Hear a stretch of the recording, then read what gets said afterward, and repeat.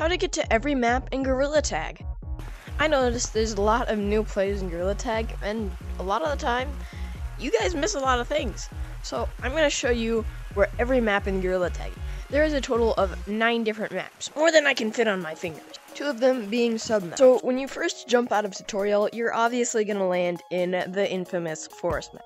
This is literally the main map. A lot of people don't know that if you come over to here, just from the stump and gazebo, you can actually jump up here. This used to actually be completely closed. We never had this. Then once you climb this all the way to the top, it will reveal Beach Map. This is honestly one of my favorite maps, just because there's vines or zip lines everywhere. And you can even go all the way around the map. That is just two of the nine maps. So let's go back through the tunnel.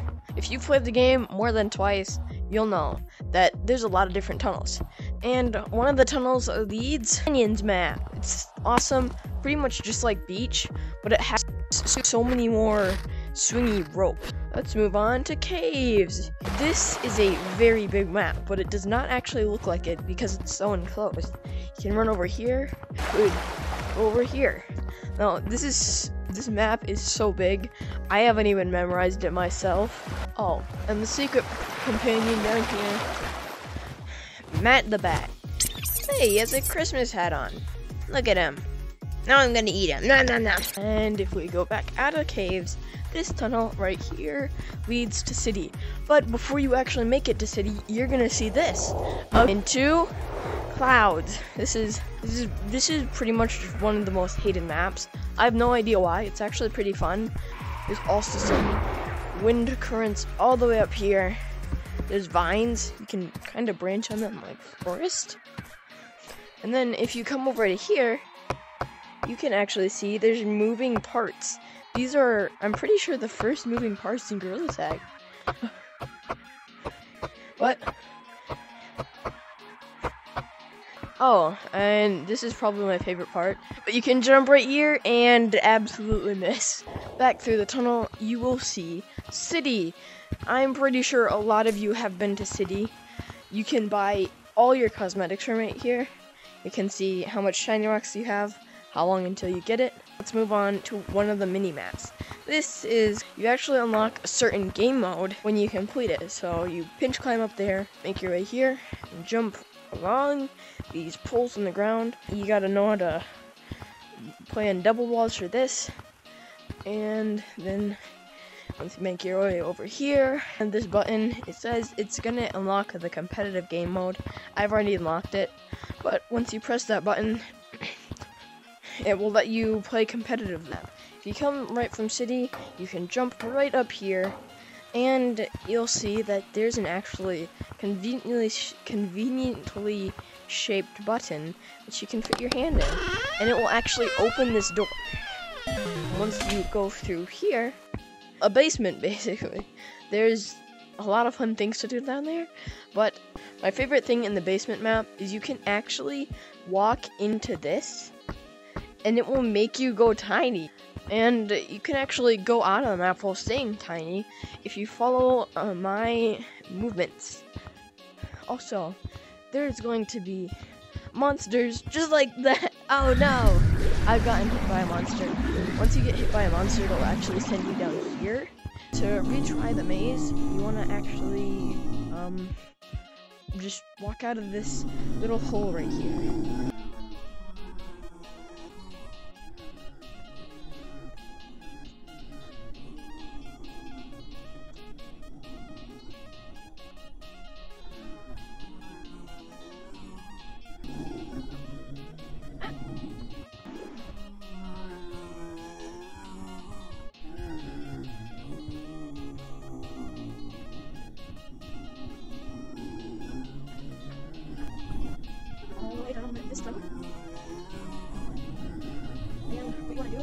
You're gonna find this coin ground right here. It's very tiny, so you gotta kind of memorize the area.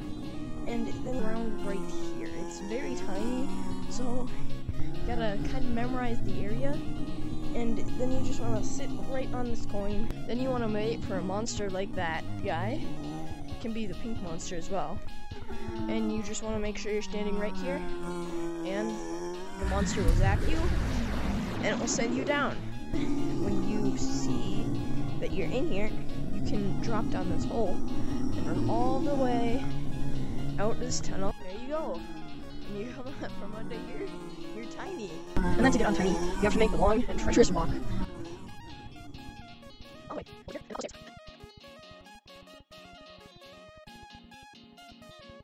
You've climbed up here, keep going, and then you see the door for the end is in sight. Your treacherous journey is almost over. You'll start as you walk closer to the exit. You'll start to get bigger until you can actually walk out here and you're full size again. Moving on to the very last map, the ninth one, we can go into ice map. It is very hard to learn. I guess you can tell why it's called ice map. It's covered in ice, which you can't move around freely like in forest. If you want to, you can actually walk in the snow, but the ice is slightly lighter and slippery. And then this is actually the fan. It's probably your um, savior from you like hyperventilating. you can jump into it and it will shoot you all the way up there. I don't know why it didn't. This map is super hard to learn, so don't uh, get frustrated if you don't learn it on your first try. It's it took me a while to learn it too. That is all the maps, them, and you definitely got to explore all of them.